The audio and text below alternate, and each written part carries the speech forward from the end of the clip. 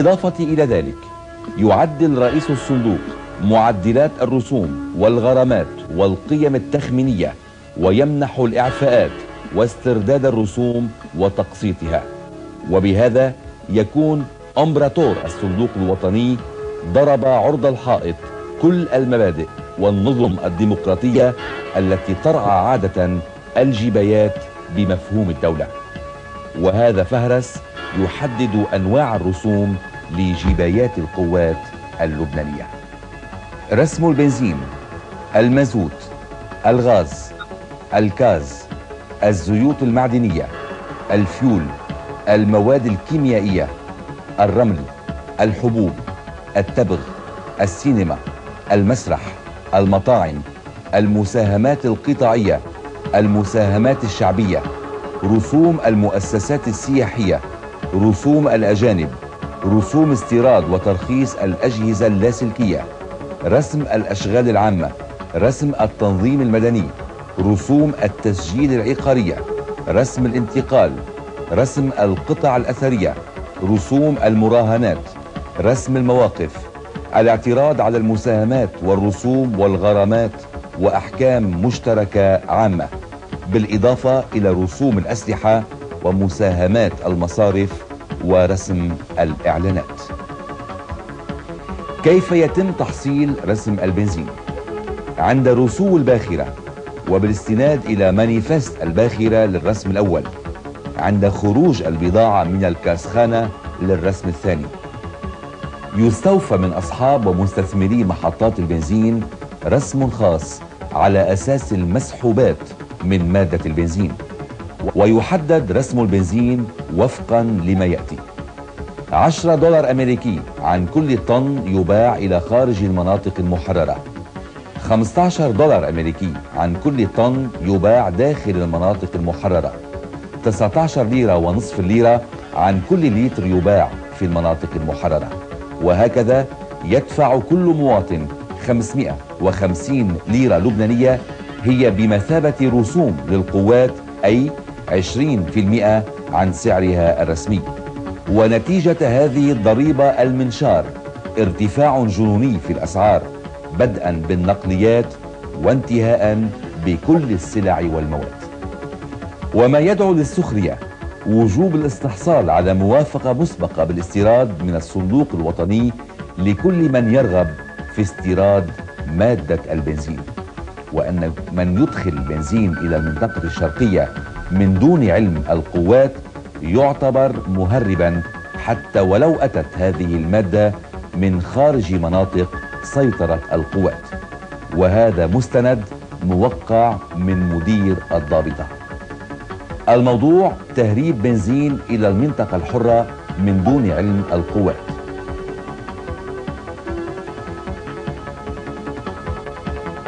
كيف تحدد الرسوم على المواد الأخرى؟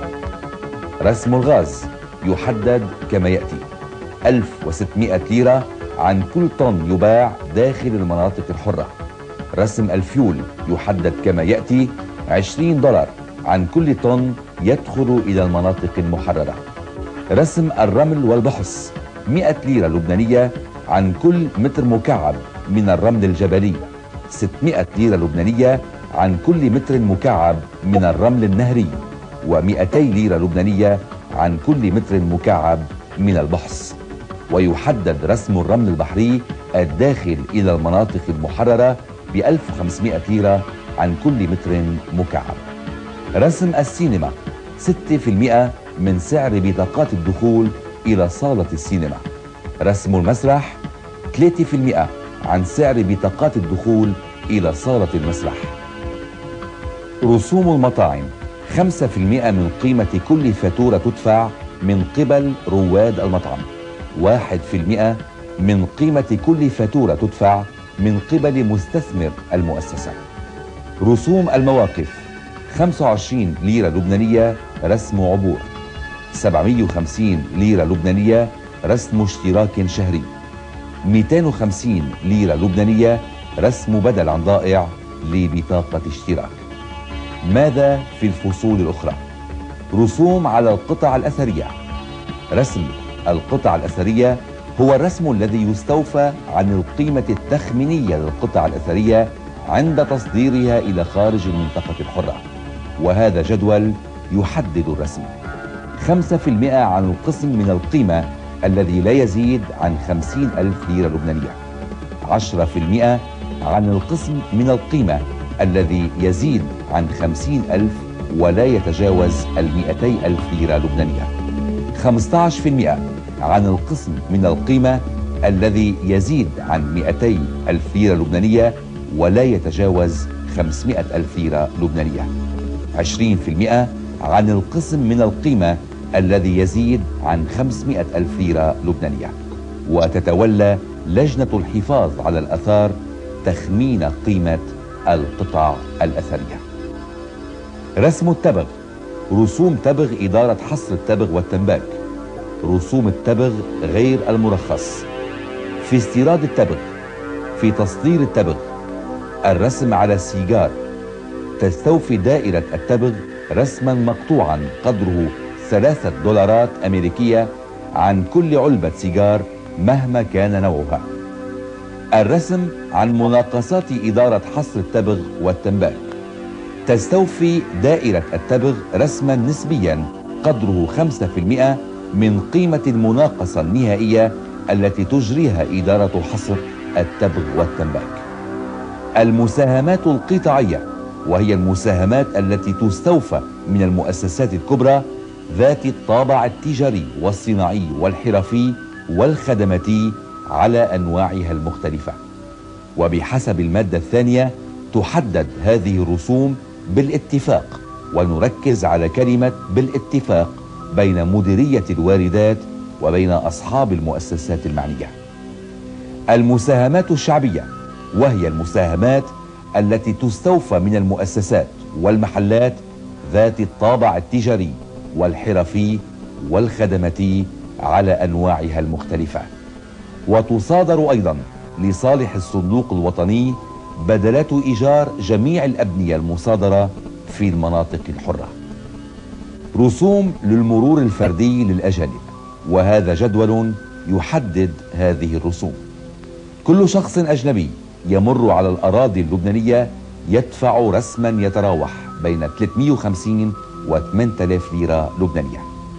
بدل إجازات عمل للأجانب وتقسم بحسب نوع العمل.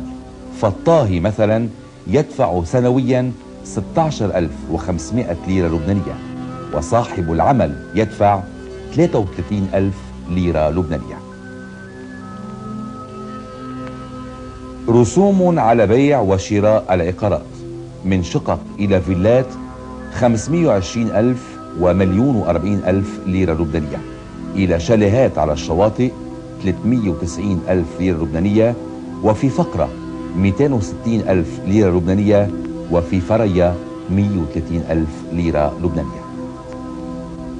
وهناك رسوم أخرى تحدد على المؤسسات السياحية وهي بمثابة جيبيات سنوية ويحدد الرسم وفقا لما يأتي.